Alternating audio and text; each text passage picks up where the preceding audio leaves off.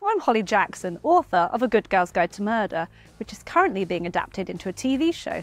And by currently, I mean li- like literally right now. I can see they're filming over there. So shall we, um, shall we go get in the way and have a little peek? Shall we? Go get shouted at.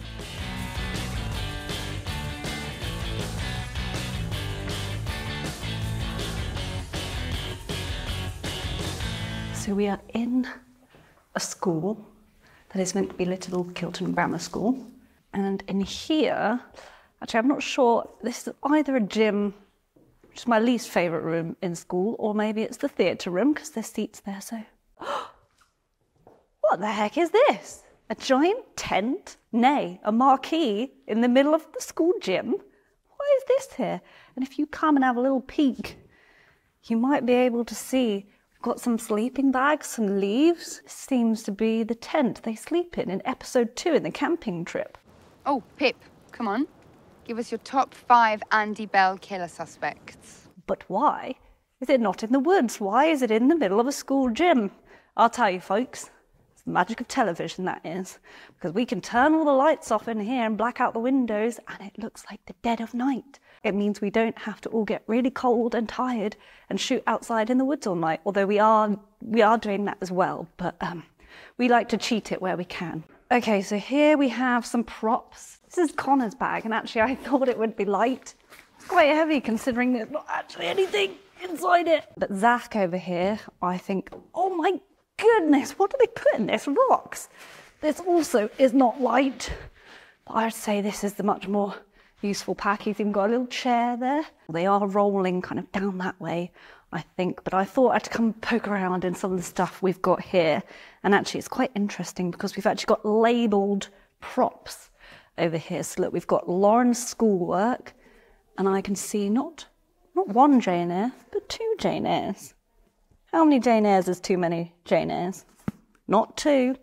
We've got a little yogurt here that I think might feature quite heavily at a moment in episode three. As were Ruby Foxcroft. Shut up and eat your Miller Lite. Yali, I've been looking for you everywhere. Holly. Doing scribbling like a weirdo I'm in this just dark taking room. some notes. Notes? No, Oh, it's none of your business. I've seen it. it says, help, Holly is holding me hostage. It's not true. How has it been playing Lauren? Are you excited? I love it so much. Mm. I genuinely really love it. She's absolutely amazing Mm. and she makes me laugh. Oh. I peed on my leg. Yali is bringing Lauren to life in the best way possible. Since from like your audition to now, in fact, when I watched your audition, I just remember thinking she's having way too much fun doing this. I thought auditions were meant to be miserable, but you were just enjoying it a bit too much. I really was. Mm. Let's do this, bitches. Come on. So, have you got any scenes coming up that you're particularly looking forward to? Oh, I'm really excited for the camping scenes. What are we doing? We're playing Charlie Charlie.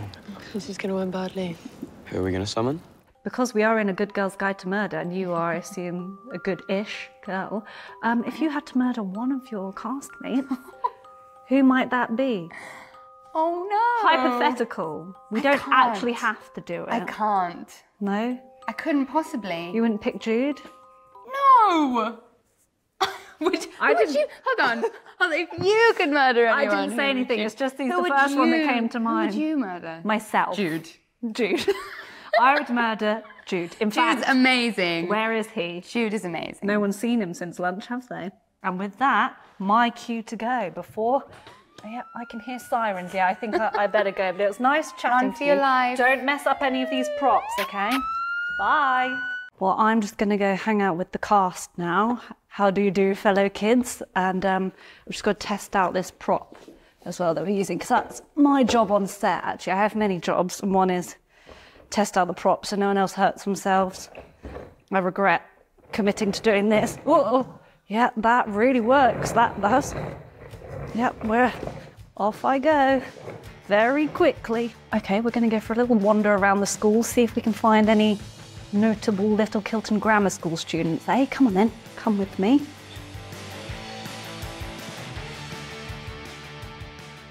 Look who I found in this room. This is not Raiko. Oh my god, I didn't And Asha's down there as well. I didn't even see you down there. Asha was having a nap and we've disturbed it. And the lovely Emma. What lessons have you guys been having today? So I found this bunch of people who are supposedly important. Um, You wrote us. I did. They came from my imagination. It's very trippy.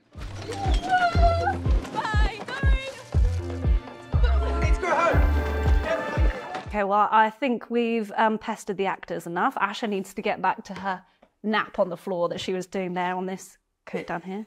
It's hard, it's hard work being Cara Ward, so um, I'm going to leave them there and escape, although I'm sure I'll be annoying you all later.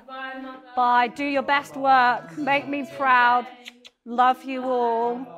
Bye. Never know where I am. That's the wrong way. I quite like being at the school because we get to do fun scenes with Pip and her friends, which are a bit more light-hearted because, you know, some dark, horrible stuff happens elsewhere in Little Kilton. But the school, for now, nice place to be.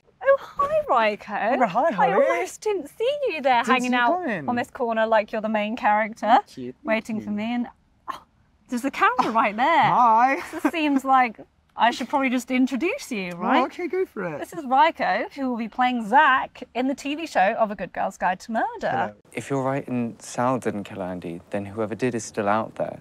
And if they find out you're looking for them, isn't there a chance they could come after you? So how how are you feeling about everything? Excited to be in the world of Little Kilton? I am. It's such a cool, beautiful place. All the locations that we've shot at are so aesthetically pleasing and they all work so seamlessly well together. The whole town just looks incredible and all the, the costumes look great. The costume designer Charlotte did such an amazing job. Hmm. There are people from school here. I didn't know there was a whole Stars of the Silver Screen thing. Is yours chafing? Mine's really chafing. It's cool seeing that you've written this book and now it's being put onto screens. How how have you found it with with the characters that you've created? How does that compare to what you're I mean, looking it has been a bit weird. When I walked into the table read and everyone was just there for the first time coming over to talk to me, it was a bit like, ah, you're from my brain. Ah, you're there, like jump scares everywhere because Yeah. everyone is just so well casted. Well, now that you've said nice things about me, I think it's probably time for me to leave and see you around. You've got work to do. Go I on. do, yeah. Get be Zach. They say try everything once. I believe the acronym is YOLO. Exactly. Oh, hi, Jude. Whoa. Hi. Oh, Oh, sorry. Were you having a nap? I an was. impromptu nap an on impromptu set? nap on set. Don't tell the director. I, I won't. Well, I'm actually in charge here, so I won't tell myself.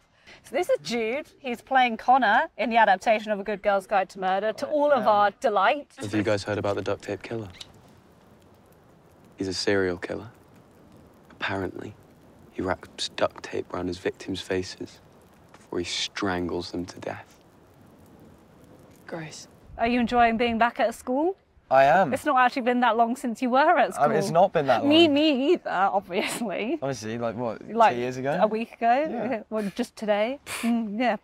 What's it been like for you, seeing Little Kilton Grammar in the flesh? It is. I mean, it's not made of flesh. Well, I wish it's made of bricks, but it is very exciting. We've had literally just there, we had all the school children spilling out as the summer holidays began, and it was quite fun to watch. I did a selfie.